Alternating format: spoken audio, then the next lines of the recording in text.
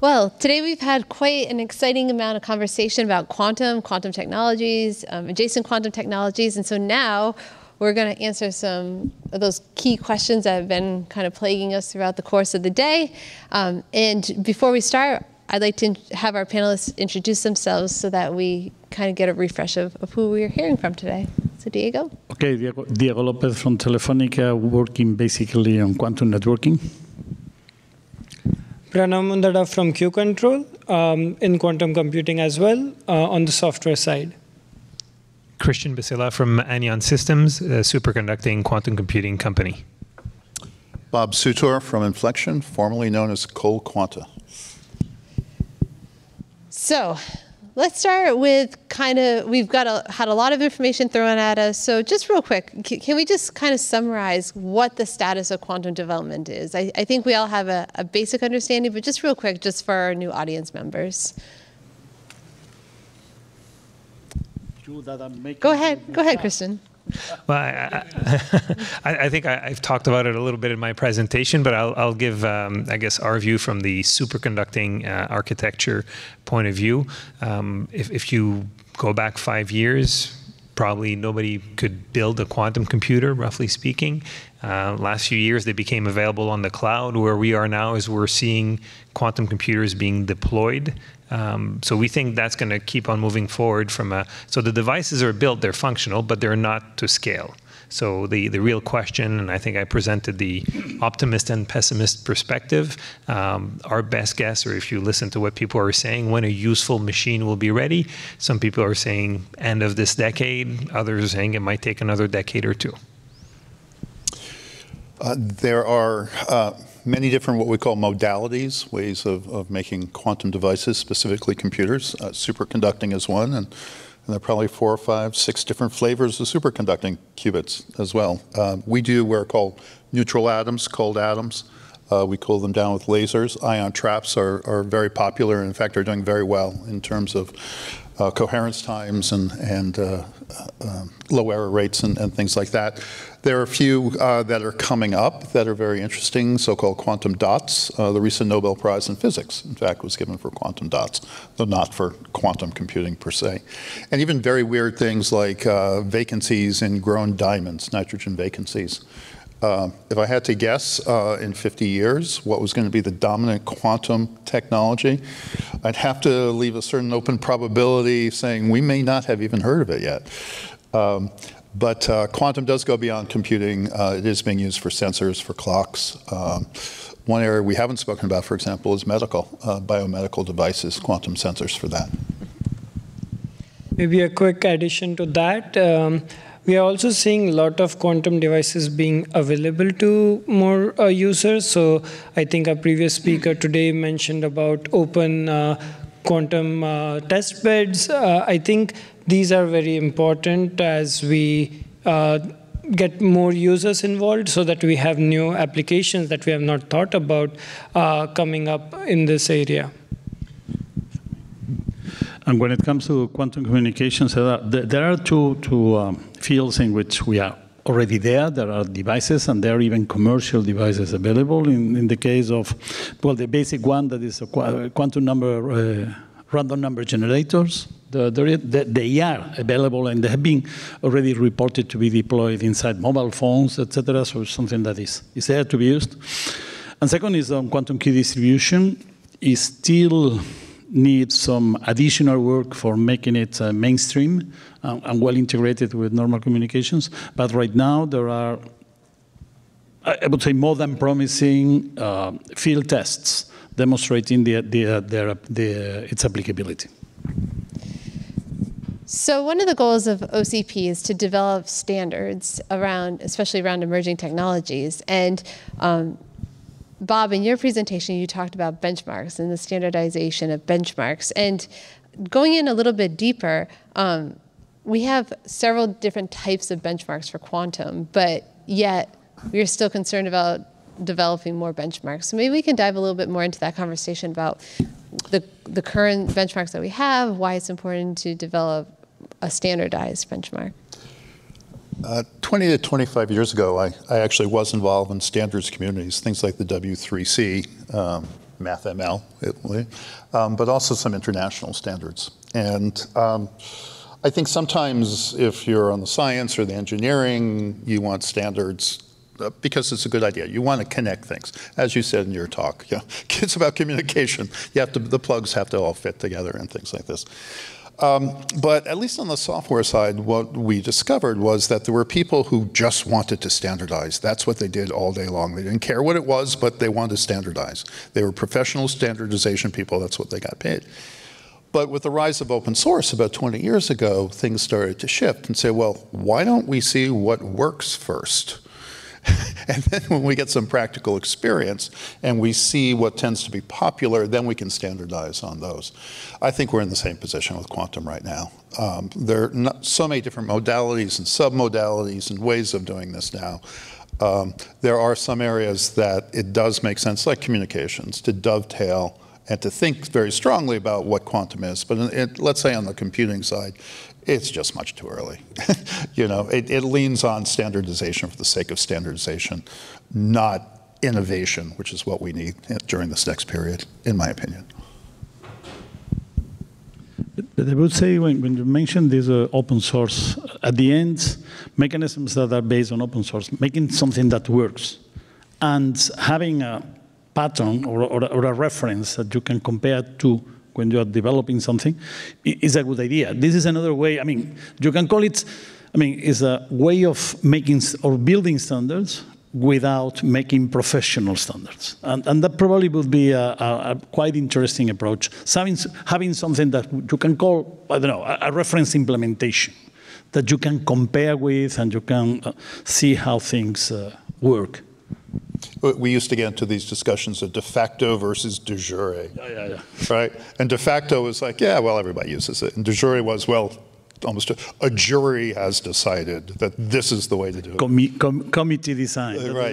Designed by a committee who's never coded in their life, right? Uh, yeah. And so on the software side, um, on the software side, do you see any areas that standardization for quantum could help with the advancement of the technologies, whether it be the computers or the sensors or what have you? Yeah, for sure. So uh, on the software side, uh, so maybe I would categorize standards in two different categories. One is uh, on the software side, let's say you have some uh, classical controller stack and you want to, um, there are different uh, providers for that uh, classical controllers, um, and you want to use them interoperably. In that case, having some standards as to some standard language is very helpful.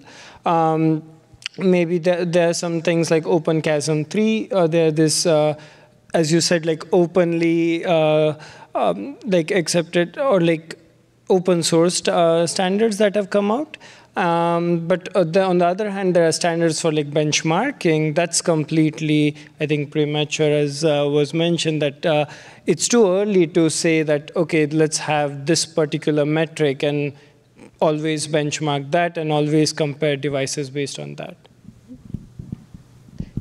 Christian, do you have anything you wanted to well, Just to add on the benchmarking metric, um, I think there's been discussion on it. I, from where I stand, and I'll let the other panelists talk, I think everybody believes it's very important. It's just we haven't found the the right answer yet. So, and, and I think that that's going to take some technology evolution. So, I, I, haven't met someone yet that says, "Oh no, we don't want a benchmark," or "We don't think it's going to be relevant." It's more, what's the right benchmark, and how can we get to it? Mm-hmm. It looks like we have. Um, did you want to say one more thing, Bob? Bob? Oh, um, there are different types of benchmarks. I mean, I just my, there are um, application benchmarks. So, what are the high-level things that people are trying to accomplish? So, QAOA, right? I mean, you showed an example of that. Um, it, it's kind of middle level, but it's still a thing one wants to do versus T1s, T2s, and things like this. Some of the very low-level measurements. The problem, though, I must say, with quantum computing is that there's so so much hype out there. Um, and uh, I've been responsible over the last few years of at least helping to publicize it, should we say. But there are some claims from some people that are just absolutely ridiculous. And that's why we do need test beds, such as in the last talk and, and things like this. And at some point, you just have to say, could a third party please test this and say, are the numbers as good as they say? right? because people become very skeptical of, of you know, is it really as powerful? Um, I remember at one point we suddenly had to realize that people, people were counting qubits that didn't actually work. they were on the chips, but they didn't work. well, I wouldn't count those, you know, and, and things like this, right? And, and so th this notion of somebody at least, you know, giving a view of, of what the world is like and not just taking vendors or providers' words for it. Mm-hmm. So it looks like we have a question from the audience. So why don't we? You're all touching on some things that's very uh, dear to my heart. And uh, 25 years ago, I was the vice president for standards for the IEEE Computer Society. But my day job at Sun Microsystems was to do benchmarks, and I was in charge of the performance and the architecture group. So all of this stuff was like, how do we seek to create value as engineers and scientists and entrepreneurs in this world? And so I'm seeking that again now 25 years later and saying, what's the best way of doing this? And there seems to be like, we're on the verge of a paradigm shift, and a lot of the things are focused on things that people think, you know, have a lot of glitz, like quantum computing and like, you know, AI and so on and so forth.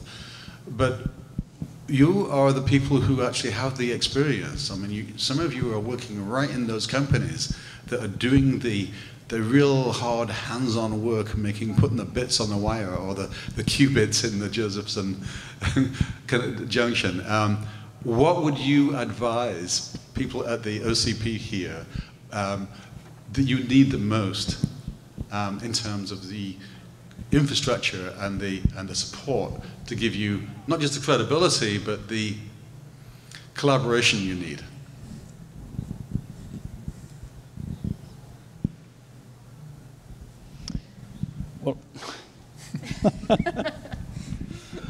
The, well, the, the, there are there are, I, uh, and I was uh, during this afternoon. I was in the uh, downstairs in the. Uh, I don't remember the name of the session. Sorry, Cliff, but uh, in which people are talking about new initiatives, uh, etc. In which I, I believe that at least in my field, when it comes to to issues regarding the interconnectivity or the, the interconnection of quantum uh, uh, devices and how you can share quantum states across a network, etc.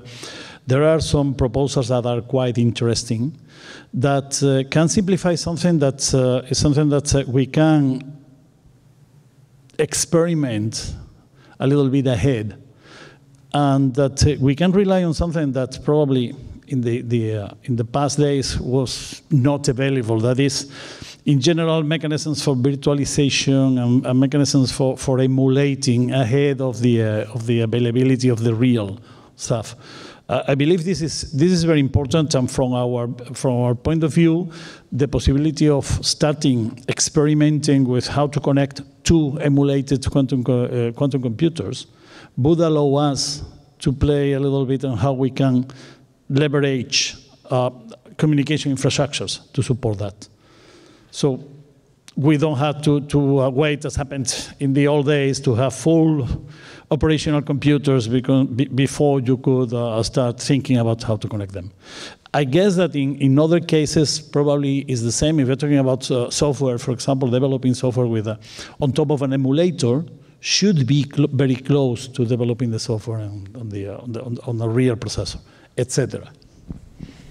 Thank you. Uh, just to follow up a little bit for those who are thinking about quantum and networking, um, the information we're exchanging is not just bits, it's quantum states, as, as you just said, right? And in fact, when we talk about networking, it's much more general than traditional classical networking because it's even at the lowest level inside a device. So if you have multiple chips, superconducting, at some point you've got to connect them somehow, some way to get bigger ones, right? Um, but the worst problem is if I take something of one modality, let's say neutral atoms, and then I want to connect it across the room even to something which is superconducting or ion trap or anything like this, I probably have to go through optical in the middle. I have to transduce while maintaining quantum states. And, um, and that's tricky, and it's error prone, and frankly, nobody knows how to do it really well quite yet. But it's this heterogeneous problem, which I think could be looked at sooner rather than the homogeneous problem. Because inside our own devices, thank you very much, we'll make them talk to each other. right? We don't need somebody else to standardize that. But it's this, you know, different to different that starts to get very interesting and also has other opportunities for, well, what does noise suppression look like when you're actually doing transduction, right, and things like this that would open up. Um, and individual vendors tend not to look at this because they worry about their own things, right? Yeah, absolutely. And also to, um, as you're talking about going in the fridge, uh, one thing that maybe uh, OCP community could help uh, with is like there's a lot of classical controllers also that we need um, to support this uh, system. So as like say qubit sizes, uh, I mean I'm talking on superconducting circuits. As you go beyond thousand qubits or few uh, thousand qubits, you need some cryo CMOS technology down in the uh, Dell fridge because having all these cables go from room temperature is just not going to work. So I feel like there, I'm sure there's a lot of expertise around, like for example, the open source project uh, like QubiC or QICK, where you're using now Xilinx RF SOC chips, which are made for our uh, mobile phones. Now suddenly the cost per channel uh, for controlling these qubits went down from $10,000 per channel to $1,000. And also the uh, form factor. So having these kind of things um, where like other people who other parts of the community who are not quantum uh, can help is also something that OCP could help with.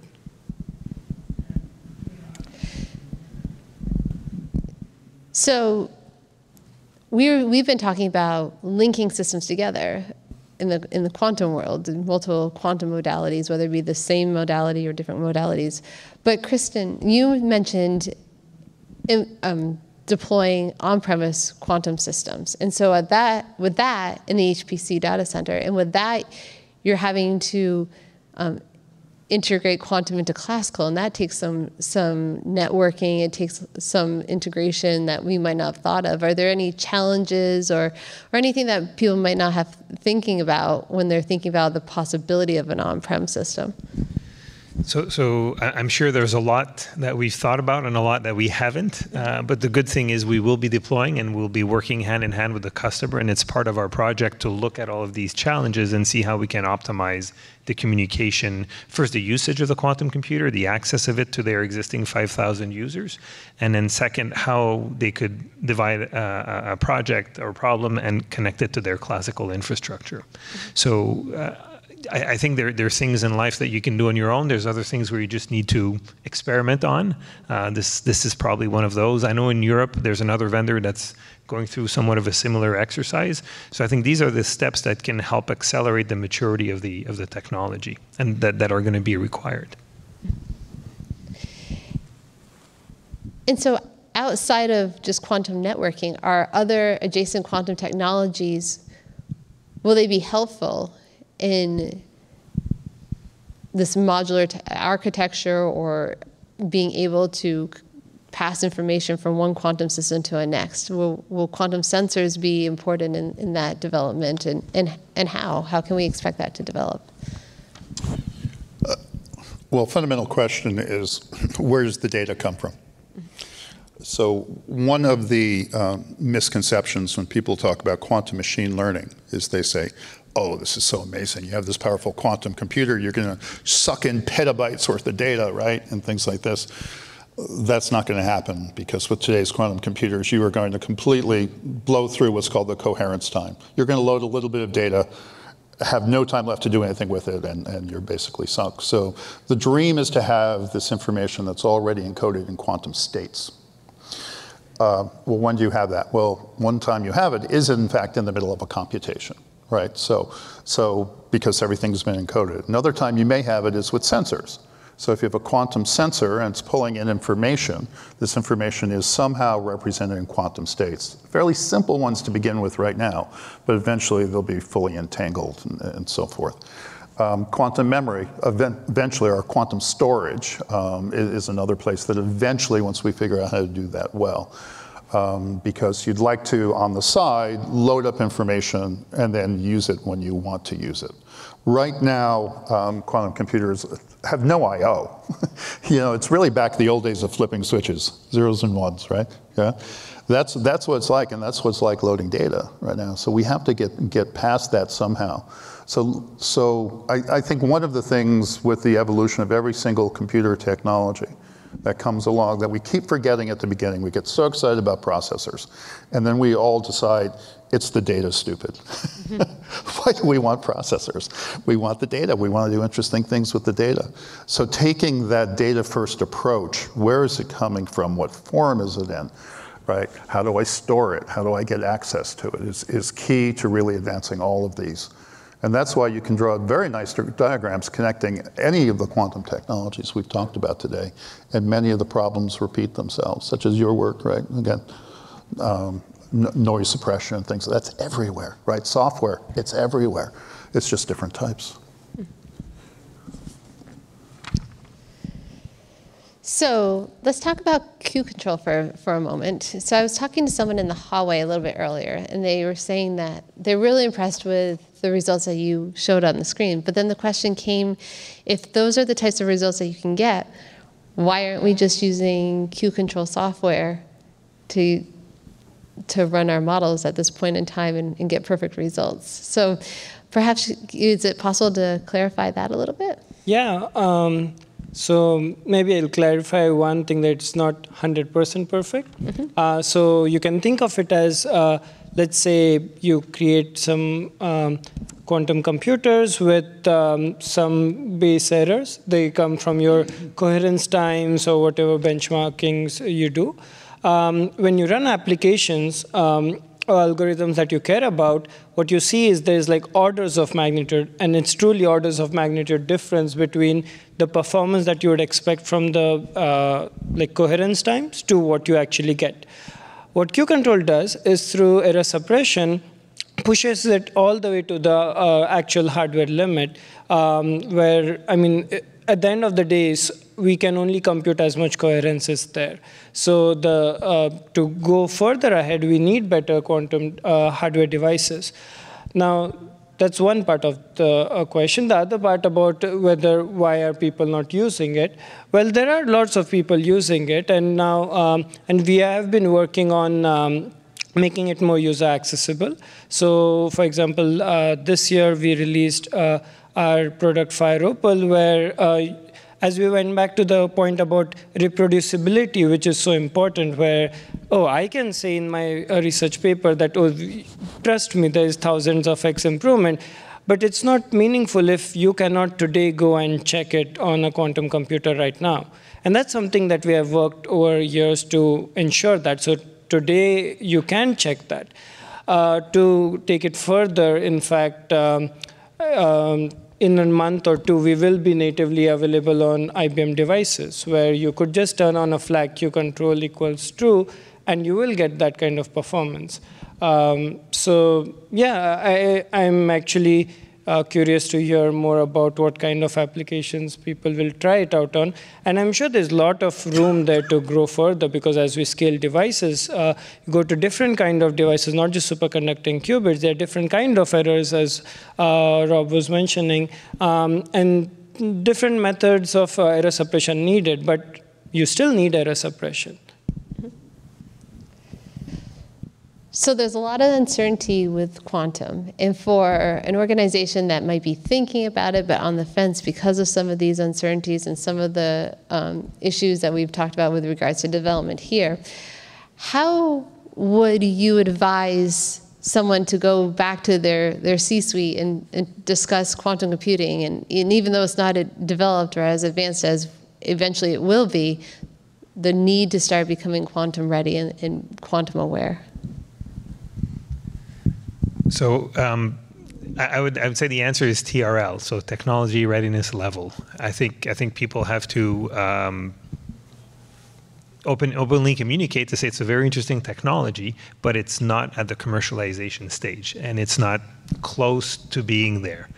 But that being said, because of the value it can bring and because of the progress it has shown over the last few years, I think for most uh, corporation, for a lot of, of, academic users, a lot of, of, test beds, labs, there are a lot of people for whom it makes a lot of sense to invest in that technology today, to start to familiarize themselves with it, but the expectations have to, have to be right.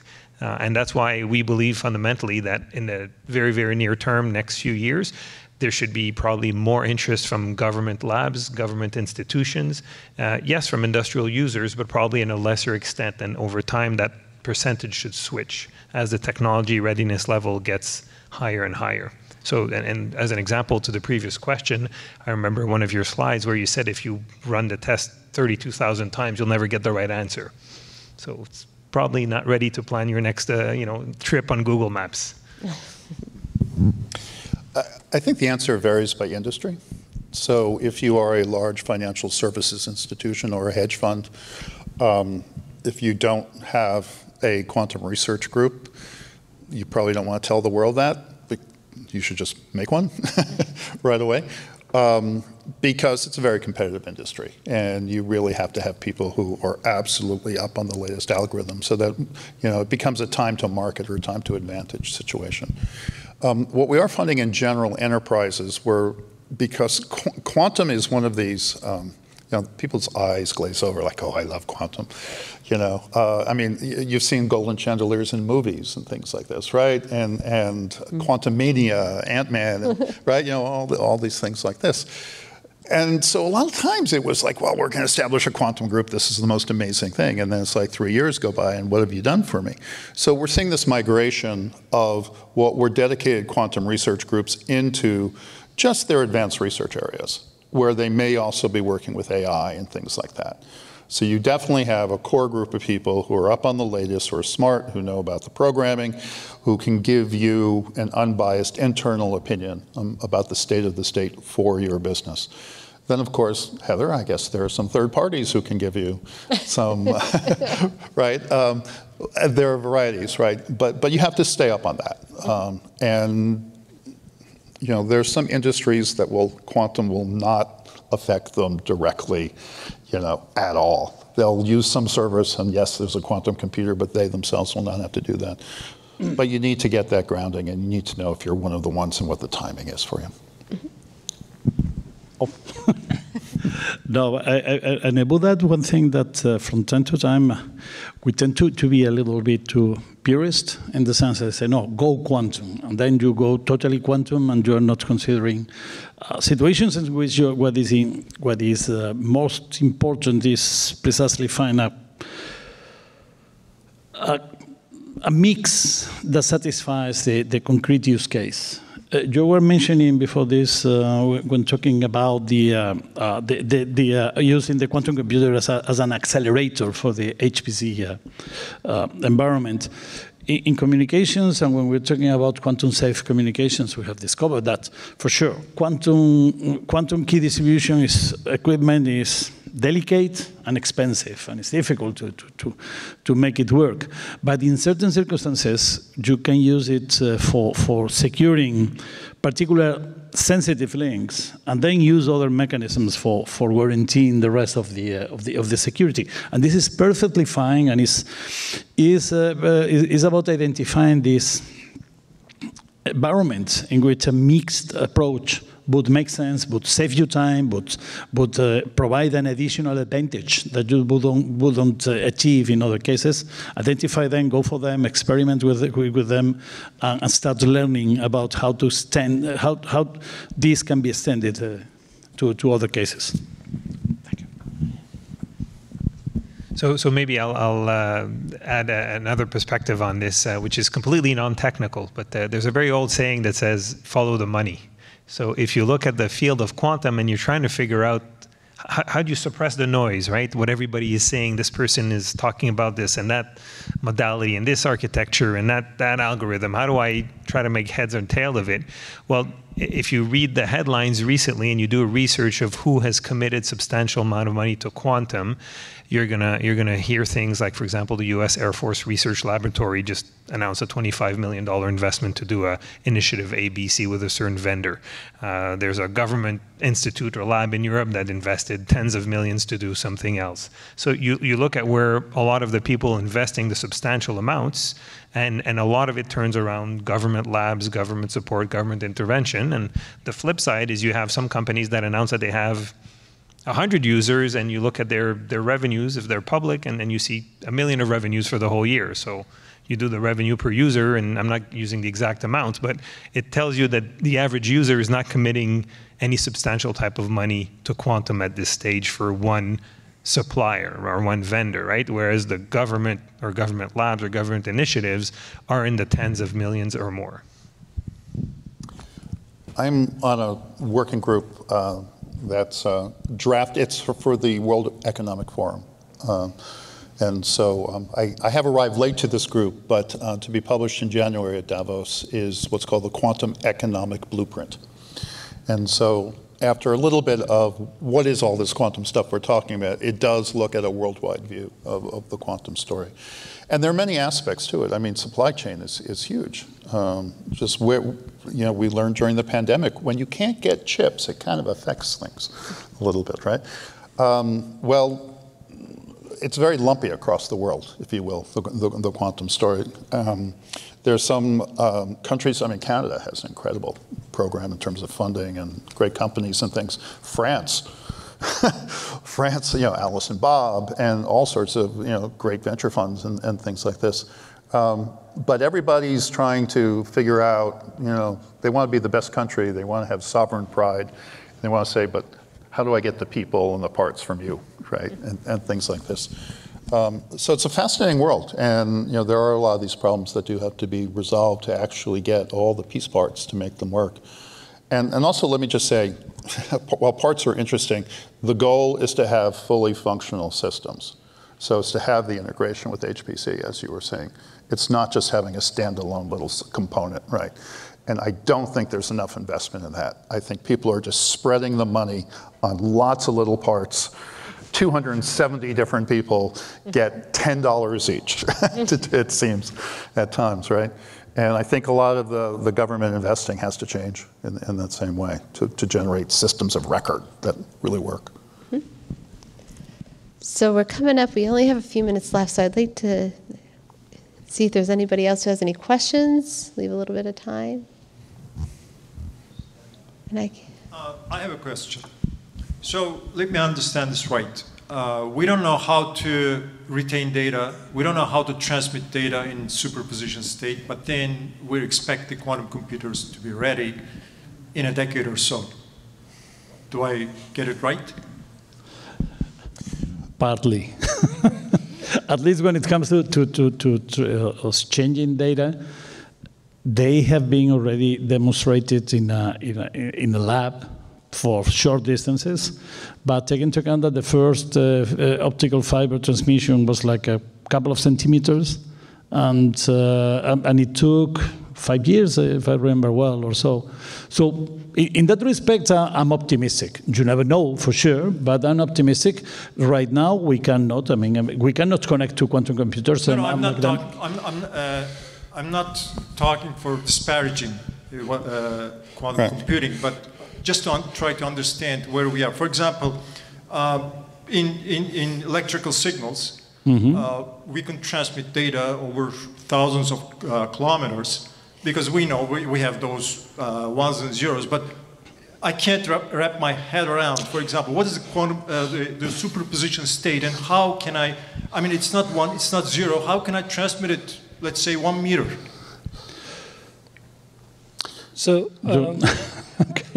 maybe let me answer. Uh, so, um, in terms of transmission, uh, there are it depends on what uh, modality we are talking about. So some modalities actually transmission is not so bad. Uh, some modalities the uh, saving the data in some storage as a memory is not so bad either. So for example, uh, the uh, like maybe Diego will know best, but uh, and sending data like uh, superposition states through satellite and uh, having it back, like having entangled uh, photons across the Earth has been done.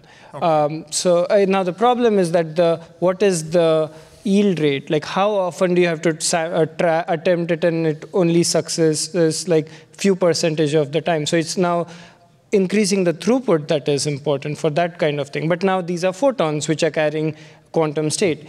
Uh, that is not used typically for uh, doing computation. I mean, there are new uh, companies coming up like PsiQuantum and Xanadu which are trying to use that for computation, but that's not the standard way.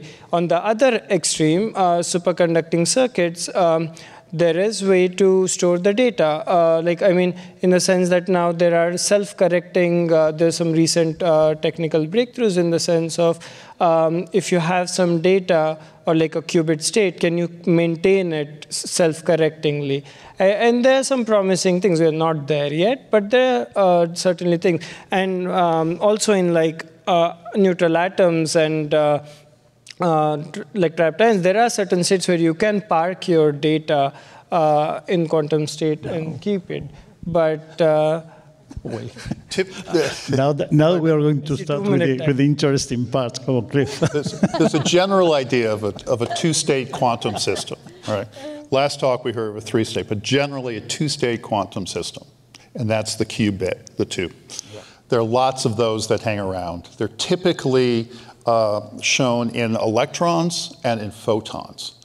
So electrons are the basis of most of the ones that we've talked about here, superconducting, ion trap, atoms, photons, of course, for, for photons, um, and communication. So if you can get that quantum state into a photon in terms of its polarities, you can move that photon around and you can do interesting things. Now, one other point that you said at the very beginning and goes back to the first thing, uh, I think your second slide, was that quantum computers are not replacements for classical computers. They only do three categories of things well. And even the factoring problem, right? You know, should they ever be able to get big enough? All you got to do is input that one number. You don't have to input a lot of data. Now, it may be a big number, right? But it's how the system works and the programming model, which is completely different from the classical model. No if then else's, no for loops and things like It's completely different. So think of it as a computational engine and don't think of it as a general purpose processor. Uh, and the important thing is that we're talking about how you represent the information. When you mentioned these ones and zeros, ones and zeros that, that don't matter as long as they, we, we don't don't have a clear way in which they represent information and allow, allow us to manipulate it. With a quantum state, you, you do the same. You, re, you have to represent the information on a quantum state and see how you can share that information and manipulate that information, manipulating or, or forwarding the quantum state is And anyway, what is a one or a zero? exactly that's the point. It's a- If, if, if I looked at an optical line, would I see little ones and zeros? Right? No, I wouldn't, right? So there is a physical manifestation. Okay, thank you. Well, good question, actually. Yes. that's yeah. I want to thank the panel very much, because actually the discussion got pretty good as we got up to the end. And uh, thanks again for, uh, for being here today and all of the efforts. Thank you.